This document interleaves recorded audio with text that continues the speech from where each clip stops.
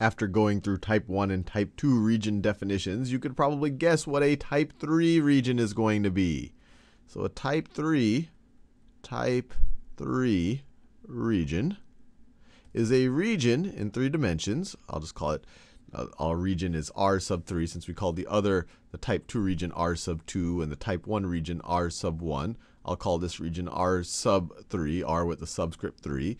It's going to be the set of all points in three dimensions, the set of all x, y's, and z's, such that the xz pairs, xz pairs are a member of a domain. I'll call this domain D3, D sub 3, and, and, let's put a comma here, y is going to vary between two surfaces that are functions of x and z.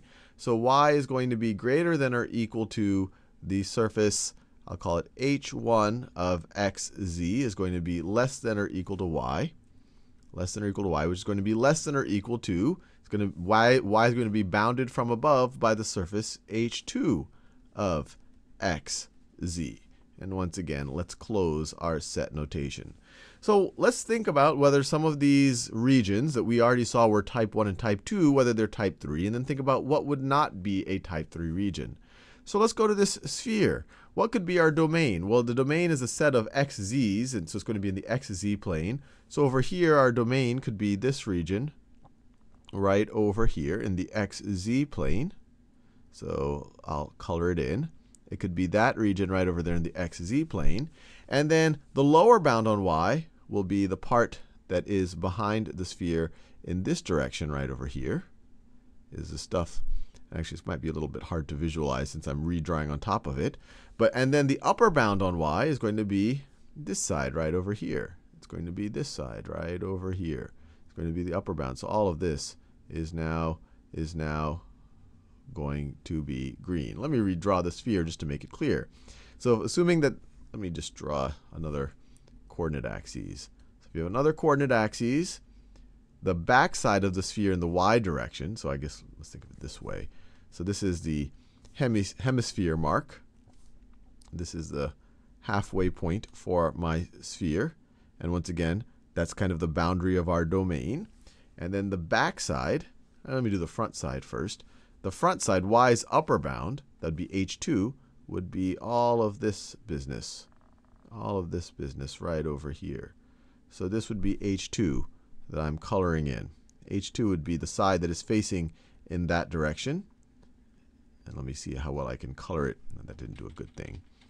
So H2 is all of this stuff out on this side of the sphere. And then H1 was a lower bound on y. So it's going to be that side right over there. I know I could draw it probably a little bit neater, but hopefully you get the point. It would be all of that side. And then y can vary between those two and essentially fill up the region.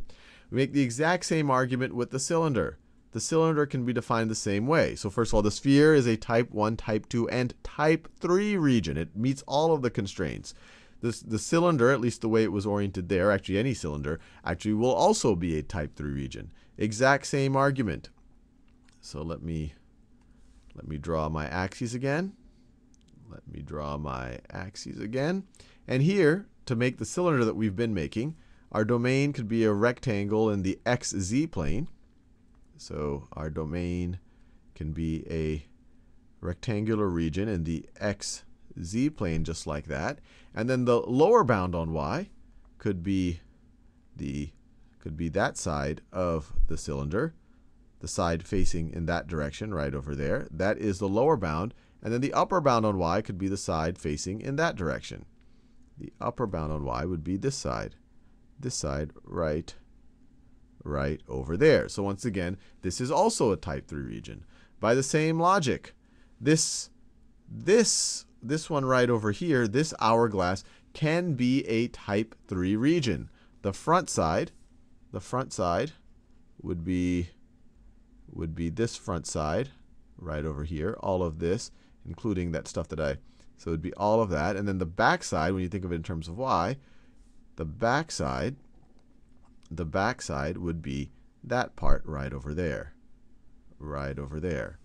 And once again, once again, this could also, this could also be a type 3 region.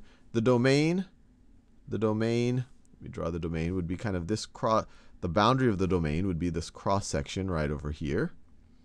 So the boundary of our domain could be that cross section right over there. The lower bound on y would be the back half, the back half of this hourglass. And the upper bound on y would be the front half, would be the front half, right?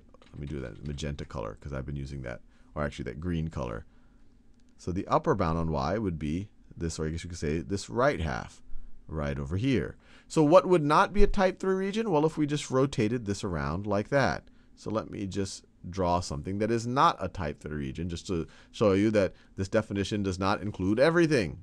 So something that would not be a type 3 region for the same argument as we've seen before for type 2 and type 1 regions is an hourglass where it's along the y-axis, or at least it's oriented this way. It actually does not have to be right centered on the y-axis. But an hourglass, an hourglass that looks like this, that looks like this, now all of a sudden the y can't be just expressed as being between two surfaces that are functions of x and z. You would have to break this up in order to do that. But you could break, break up this region into two type 3 regions. But the, the whole thing itself is not a type 3 region. So not, not type 3.